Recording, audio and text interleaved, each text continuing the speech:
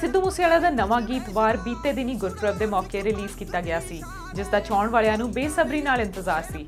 Song ਦੇ release ਹੁੰਦੇ ਹੀ 30 minute ਦੇ ਅੰਦਰ ਅੰਦਰ ਇਸ ਗਾਣੇ ਨੂੰ 1.5 ਮਿਲੀਅਨ ਤੋਂ ਵੱਧ ਵਾਰ ਦੇਖਿਆ ਗਿਆ। ਪਰ ਤਕਰੀਬਨ ਹਰ ਗੀਤ ਵਾਂਗ ਇਹ ਗਾਣਾ ਵੀ ਕੰਟਰੋਵਰਸ਼ੀਅਲ ਰਿਹਾ। ਇੱਕ ਪਾਸੇ ਗੀਤ ਨੂੰ ਫੈਨਸ ਵੱਲੋਂ ਬਹੁਤ ਪਿਆਰ ਮਿਲ ਰਿਹਾ ਹੈ ਤੇ ਦੂਜੇ ਪਾਸੇ ਗੀਤ ਨੂੰ ਲੈ ਕੇ ਮੁਸਲਿਮ ਭਾਈਚਾਰੇ 'ਚ ਇਤਰਾਜ਼ ਦੇਖਿਆ ਗਿਆ। ਹਾਲਾਂਕਿ ਸਿੱਧੂ ਮੂਸੇਵਾਲੇ ਦੇ ਪਿਤਾ ਜੀ ਦਾ ਕਹਿਣਾ ਹੈ ਕਿ ਇਸ ਗੀਤ 'ਚ ਵਰਤੇ ਮੁਹੰਮਦ ਸ਼ਬਦ ਨੂੰ ਪੈਗੰਬਰ ਹਜ਼ਰਤ ਮੁਹੰਮਦ ਸਾਹਿਬ ਨਾਲ ਨਾ ਜੋੜਿਆ ਜਾਵੇ, ਕਿਉਂਕਿ ਗੀਤ 'ਚ ਹਰੀ ਸਿੰਘ ਨਲੂਆ ਤੇ ਦੋਸਤ ਮੁਹੰਮਦ ਖਾਨ ਦੀ ਲੜਾਈ ਦਾ ਜ਼ਿਕਰ ਕੀਤਾ ਗਿਆ ਹੈ। ਸਿੱਧੂ ਮੂਸੇਵਾਲਾ ਨੇ ਕਿਸੇ ਵੀ ਤਰ੍ਹਾਂ ਮੁਸਲਿਮ ਕਮਿਊਨਿਟੀ ਨੂੰ ਠੇਸ ਪਹੁੰਚਾਉਣ ਲਈ ਗੀਤ ਨਹੀਂ ਬਣਾਇਆ। ਇਸੇ ਰੋਸ ਨੂੰ ਧਿਆਨ 'ਚ ਰੱਖਦੇ ਹੋਏ ਇਸ ਕੰਟਰੋਵਰਸ਼ੀਅਲ ਲਾਈਨ ਨੂੰ ਹੁਣ ਆਡੀਓ ਵਰਜ਼ਨ ਤੋਂ ਹਟਾ ਦਿੱਤਾ ਗਿਆ ਹੈ। ਪਰ ਇਸ ਦੇ ਬਾਵਜੂਦ ਇਸ ਵੇਲੇ ਵਾਰ YouTube ਤੇ ਨੰਬਰ 1 ਟ੍ਰੈਂਡਿੰਗ Song ਹੈ। ਸਿੱਧੂ ਮੂਸੇਵਾਲੇ ਦੀ ਮੌਤ ਤੋਂ ਬਾਅਦ ਇਹ ਦੂਜਾ ਗਾਣਾ ਰਿਲੀਜ਼ ਹੋਇਆ ਹੈ। ਇਸ ਤੋਂ ਪਹਿਲਾਂ ਰਿਲੀਜ਼ ਹੋਇਆ ਗਾਣਾ SYLV ਕੰਟਰੋਵਰਸ਼ੀਅਲ ਰਿਹਾ ਸੀ।